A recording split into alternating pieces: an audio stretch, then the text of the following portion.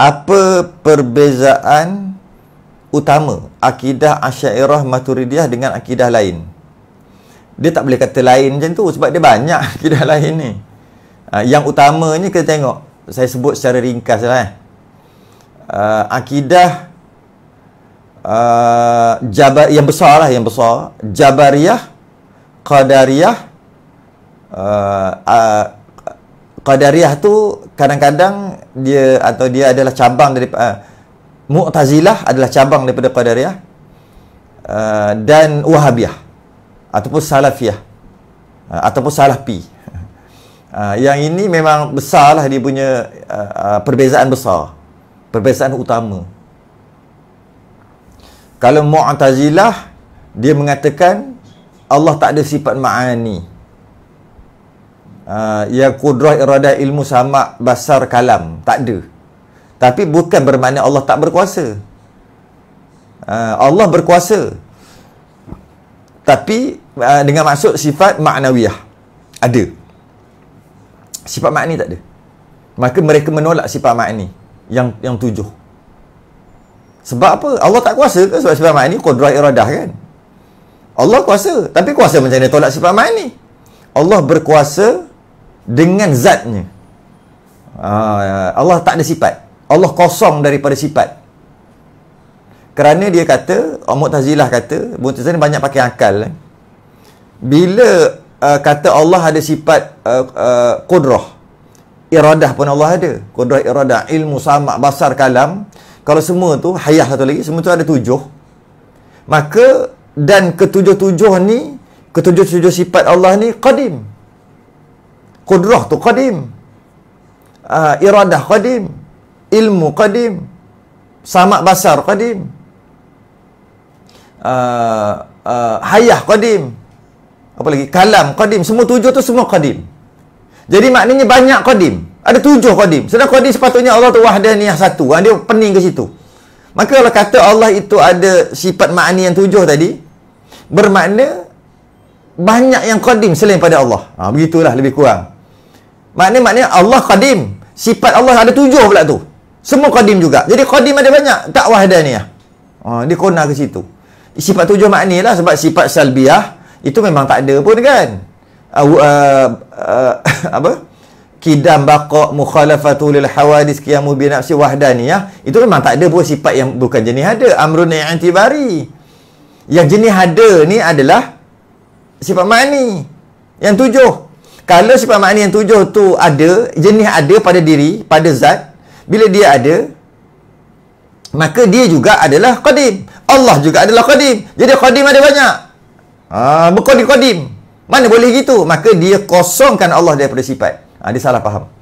Dia kosongkan Allah daripada sifat. Maka dia Allah sifat makni. Kosongkan Allah daripada sifat makni. Maka Allah tak ada sifat makni. Tapi Allah berkuasa, berkuasa.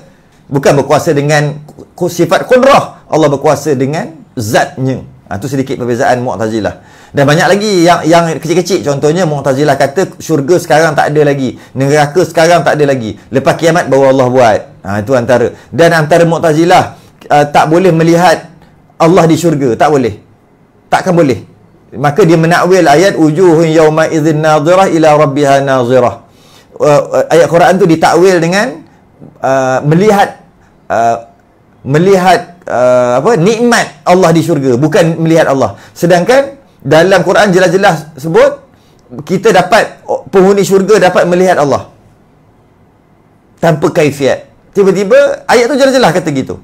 Tiba-tiba Mu'tazilah kata mana boleh kalau melihat Allah? Mana Allah dekat depan. Maka Allah tidak bertempat. Maka tak boleh melihat Allah. Maka ditakwil ayat tadi. Ha, itu sedikitlah beza Mu'tazilah uh, Mu'tazilah. Uh, termasuk juga uh, apa uh, Al-Quran tu qadim ke baharu. Uh, zaman tu kan zaman uh, zaman uh, Imam Ahmad kan? Termasuk zaman Imam Syafi'i. Pemerintah Islam waktu tu Mu'tazilah. Sampai kena tangkap semua. Ramai ulama kena tangkap. Ha, itu sedikit perbezaan Mu'tazilah. Panjang cerita ni. Antara lagi uh, Qadariyah Qadariyah ni dia kata Allah bagi kekuatan panca indera semua kat kita kekuatan kemudian Allah lepas tangan yang baik ia Allah yang tentukan, yang buruk dia buat sendiri. Ha, itu antara uh, qadariyah. Dan Allah lepas tangan apa yang yang makhluk tu buat dia sendiri buat. Kalau pakai cincin, gerakkan tangan, pakai cincin, gerakkan tangan. Uh, uh, yang uh, tangan yang gerakkan tu Allah yang gerakkan tangan, tapi cincin tu tangan yang gerak. Uh, kerana cincin tu mengikut tangan, itu qadariyah. Uh, jabariyah pula makhluk langsung tak ada usaha ikhtiar semuanya Allah. Semua Allah. Uh, makhluk langsung tak ada usaha dan ikhtiar. Maka apa yang berlaku dia kata semua Allah. Semua hakikat uh, semua Allah. Sama ada hakikat zahir dan batin. Sedangkan kita ahli sunnah wal jamaah kita berpegang semua daripada Allah itu semua adalah uh, qada dan qadar takdir daripada Allah sama ada perkara, perkara baik dan perkara buruk itu di hati saja. Secara zahir sebagai beradab kita tak boleh kata gitu, kita nak kata yang buruk daripada kita. Hakikatnya semua daripada Allah. Dan kita juga ada pilihan. Kerana Allah sendiri kata kita ada pilihan. Tapi hakikatnya pilihan itu juga daripada Allah. Ha, itu ahli sunnah wal jamaah. Secara ringkas. Perbezaan. Itu perbezaan di antara ahli sunnah dengan uh, Jabariyah. Ada satu lagi Murjiah. Uh, ada satu Qadariyah, ada satu lagi Mu'tazilah dan ada satu lagi Wahabiyah. Yang Wahabi ni dia memang paling besar, uh, dia punya perbezaan paling besar adalah ayat-ayat mutasyabihat. Ayat-ayat mutasyabihat yang bila disebut yadullah fawqa aydihim, tangan Allah, uh, mereka mengatakan tangan Allah. Kita mengatakan yadun tu bukan tangan. Uh, yadun itu adalah uh, ditakwil dengan maksud kuasa. Tangan ni kuasa ataupun itu khalaf. Salaf mengatakan yadun yang pertama bukan tangan. Apa itu maksud apa? Serah pada Allah. Aku beriman dengan ayat Amiru kama ja'a lalu kan ayat, ayat tu begitu aja dan aku beriman dengan ayat Quran ini dan uh, uh, aku sucikan Allah daripada uh, yadun dengan maksud tangan bukan tang- ya aku sucikan uh, Allah dengan yadun dengan maksud bukannya tangan uh, kemudian aku serah maknanya pada Allah. Lalu ar-rahmanu 'ala al-'arsy istawa? Uh, istawa tu bukan duduk nafikan dulu bukan duduk. Uh, uh, tapi aku beriman dengan ayat masuk segah pada Allah. Tapi kalau wahabi uh, duduk tu duduk dengan layak baginya. Uh, tu beza dia. Duduk yang layak.